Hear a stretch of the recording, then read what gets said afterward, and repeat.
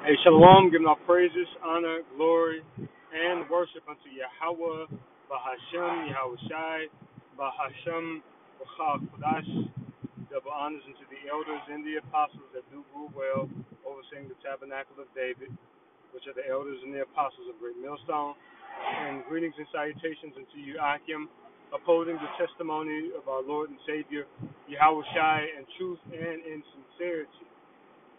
This is an in transit, and it and it, and it should not be for man, but for God. Watch.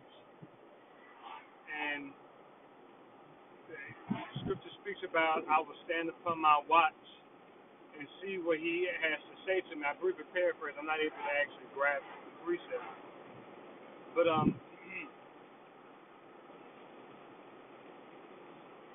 when you watch the, the, it's, it's going into you watching for the prophecies. But not only watching for the prophecies, watching yourself. If you're in the office of a bishop, which I, I've used that term bishop loosely now, the term bishop essentially means overseer, but you have official offices of, of bishops, right? Which those are the bishops over the church. But then you also have officers and you have um, captains.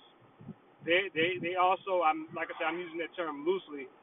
They they oversee the flock. They oversee who they're assigned to oversee from their position and from their lot. So that's also an aspect of being on your watch.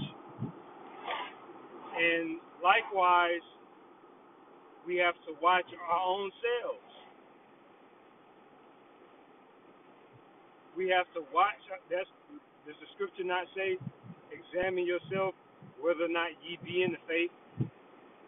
It says, "Prove your own selves,"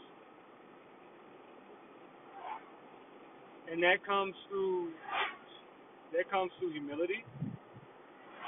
That comes through experience, and that comes through being able to take reproof and growing, and using reproof that comes from whatever it, might, it might be, maybe leadership. It's like one second.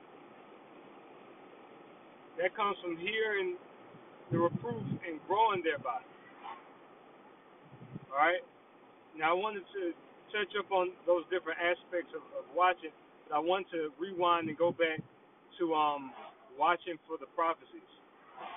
All right. Watching for the prophecies.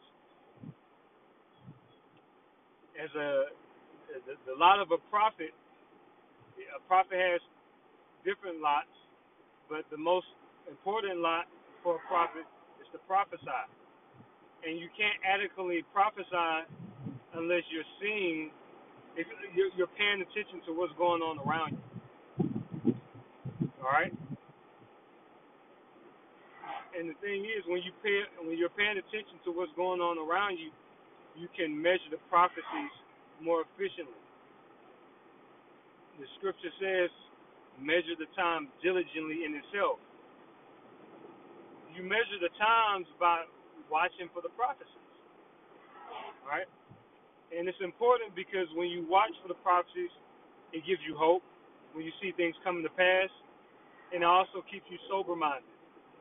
And it keeps you on your guard, keeping you on haste to prepare for the coming of Yahweh Shai. Because ultimately, pardon me, ultimately the return of Yahweh Shai is the primary prophecy that we're watching and waiting for. That he may redeem Israel and bring forth salvation to our nation, starting with the elect of our nation.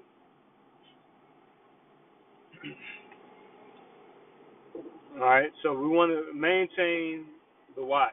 Now, I think that's what I'm going to entitle this lesson. Actually, maintain the watch. Watch on your on your own self. Watch on the uh, the flock of Yahweh Shai, according to your lot and to your position that the Lord has given you. All right, you know you look out for your brothers, um, and also watch watch yourself. Because who has to be on watch when nobody's around and the temptation comes? And nobody sees you. Of course, the angels 10,000 times brighter than the sun, buddy. But no man is around. And, and it's up to you to make the proper decision. That's you being on your watch.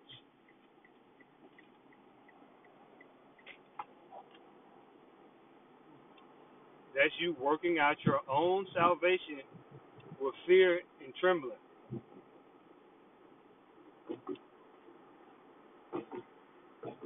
Having the fear of Yahweh Shem Shai at the forefront will keep you on the right path. Having a, a healthy fear of Yahweh Shem Shai will keep you on the right path.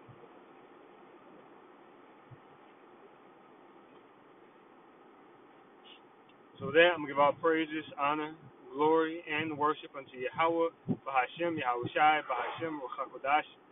Double honors unto the elders and the apostles of Great Millstone. And salutations unto you, Akim. Shalom, and keep the faith.